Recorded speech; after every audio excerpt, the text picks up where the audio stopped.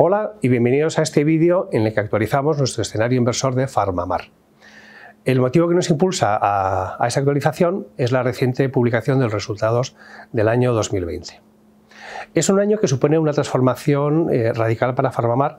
gracias al éxito de Cepcelca, su tratamiento para cáncer de pulmón microcítico,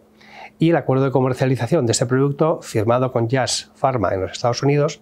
más otros licenciatarios en otros países. Cepcelca ya supone el 68% de las ventas de la compañía en su primer año y contribuye a regresar a los beneficios eh, positivos. Además de esto, tenemos el atractivo de la temática del COVID-19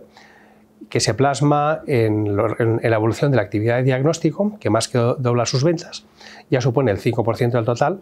impulsado por, la, buena, la buena acogida que han tenido los kits de detección del COVID-19 que fabrica la compañía. Si entramos en las ventas del año 2020, perdón, en las ventas, en las cifras del año 2020, las ventas se elevan a 270 millones de, euros, es un crecimiento de un más 214%, el EBITDA 163 millones, esto compara frente a, a menos 10 millones el año pasado, el beneficio neto atribuible 137 millones frente a menos 11 el año pasado,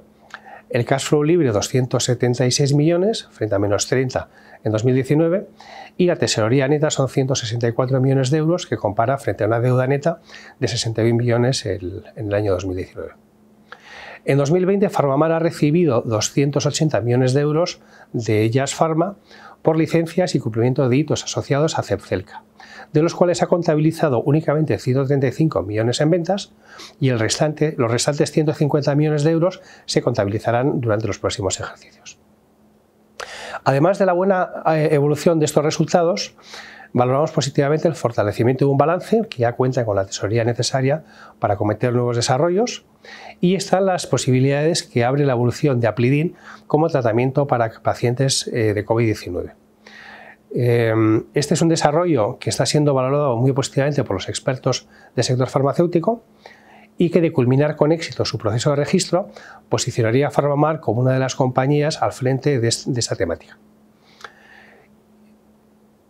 Y por último tenemos la estructura financiera que como punto positivo ya está muy saneada y, la compañía cuenta con la tesorería eh, necesaria para eh, poder dedicar fondos a, nuevas investigaciones y nuevos desarrollos de, de fármacos. Nosotros reiteramos nuestra recomendación de comprar y nuestro precio objetivo de 125 euros por acción para Farmamar. Muchas gracias por su interés en Farmamar y nos vemos pronto en un próximo vídeo.